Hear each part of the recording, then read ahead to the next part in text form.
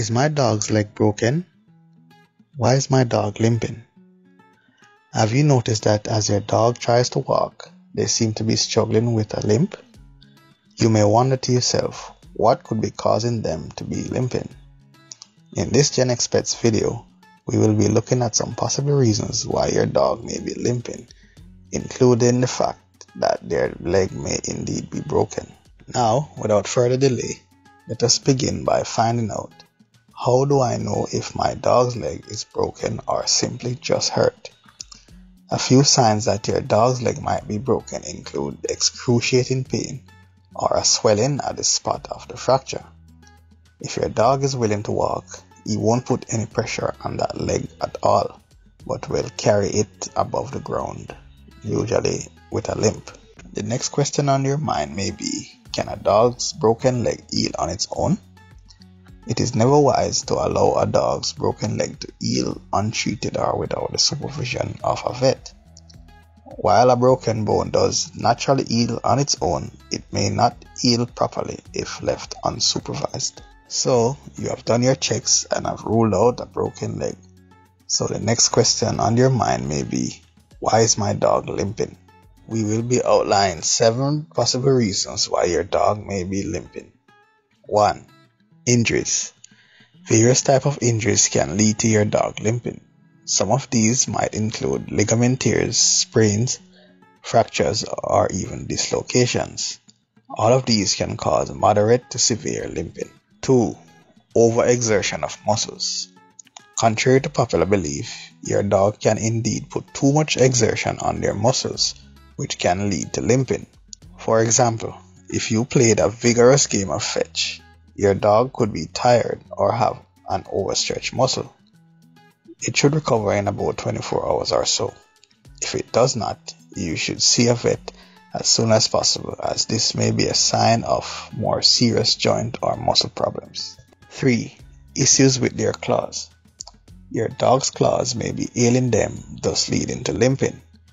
If your dog does not walk on rough surfaces such as pavements very often, their claws won't get worn down or they may get broken altogether. These claws may be piercing into your dog's skin, which is super painful. Keep your dog's nails trimmed and walk them regularly to avoid this issue. 4. Aging. As your dog gets older, their bones begin to weaken and their muscles become stiff. Do regular checks with your vet to see if your canine friend is suffering from osteoarthritis.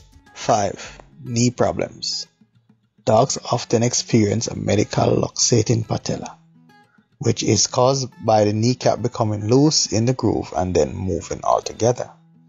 This can result in an ACL rupture.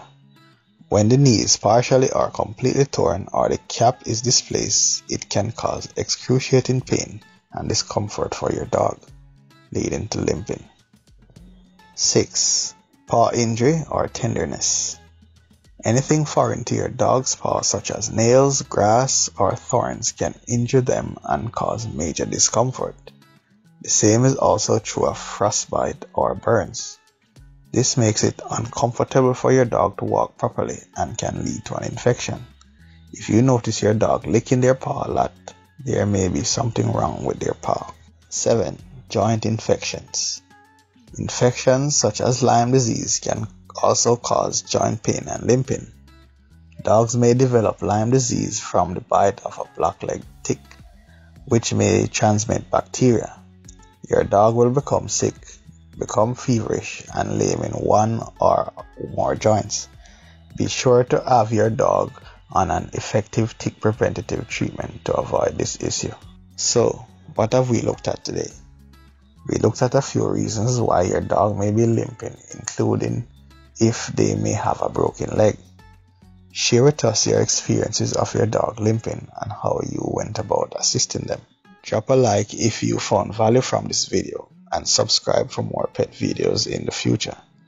Thanks for watching and we hope you will join us next time for another exciting video in the world of pets.